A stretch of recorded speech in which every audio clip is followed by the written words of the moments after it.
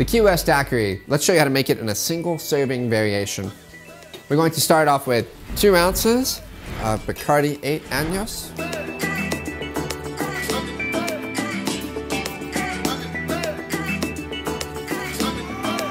Three quarter ounces of fresh lime juice.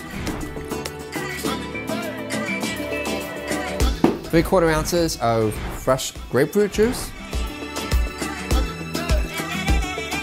One half ounce of simple syrup, and a fourth ounce of maraschino liqueur.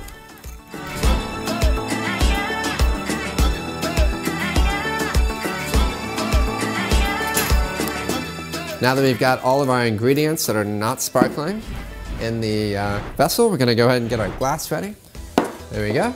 Now that we've got ice in our Boston shaker, now we just gonna shake it up.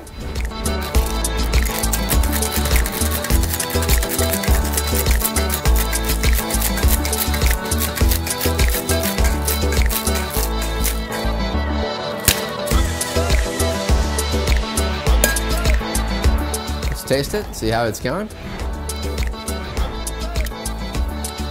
It's good. Gonna double strain this.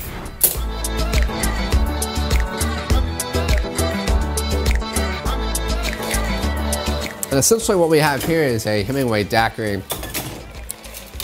But we're gonna make the modification to make it a Key West daiquiri, one of Hemingway's longtime hangouts, and add a little bit of soda water.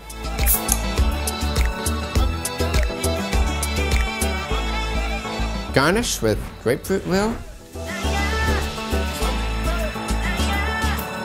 And a straw. There you have it the Key West Daiquiri. Enjoy.